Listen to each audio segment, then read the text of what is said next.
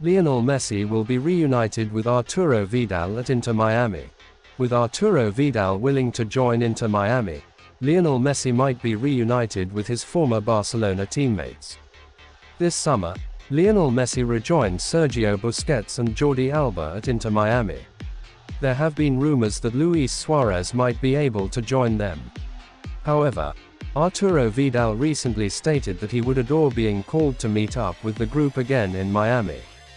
The possibility of Arturo Vidal moving to America was discussed prior to any agreements being made.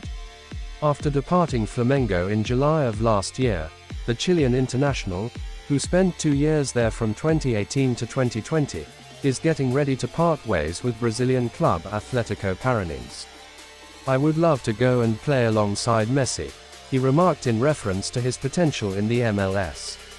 With him, passing the ball to him is pretty simple.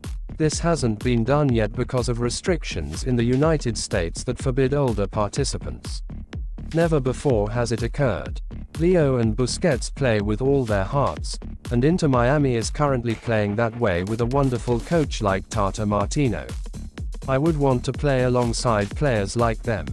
The 140 cap Vidal also talked about the prospect of facing Messi in the 2024 Copa America, which will be held in the United States. I watched Messi play a long time with Argentina, he continued. He adored wearing the Argentina shirt and was having a great time.